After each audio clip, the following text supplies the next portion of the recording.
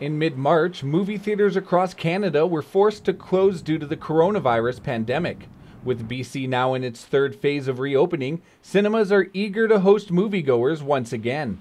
It's been a long road for, for theater operators like us to be closed for this long, and we're happy with the, the current health and safety status in these provinces and are, are encouraged that the provinces gave us the go ahead to open and just to, to get some guests back in there to enjoy some movies. The Aurora Cinema in Fort St. John and Dawson Creek Center Cinema, both owned by Landmark, open this afternoon. Many safety measures have been put in place, including sanitizing stations and protocols and PPE equipment for staff. Floor markers have been put in place to maintain social distancing, and certain measures have been set when it comes to seating.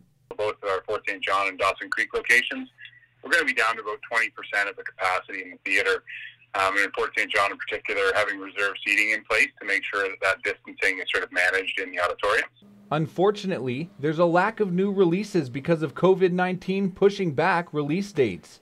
In response, they will be showing movies that haven't been in theaters for, in some cases, decades. We had the unique opportunity where the studios opened up the vault to movies that typically they don't allow us to, to replay and putting Dirty Dancing and Jurassic Park back in the movie theaters there's uh, it's been long enough. There's definitely some interest out there. Tickets are being sold at a discounted rate of five dollars a person. To avoid lineups, guests are encouraged to buy their tickets online and use contactless payment for any in theater purchases.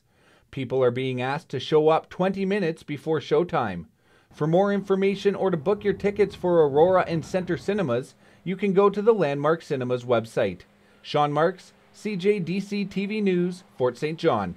Salon and barber services provided by Skinovations. Be swept away to a world of peace and tranquility at Skinovations Salon and Day Spa.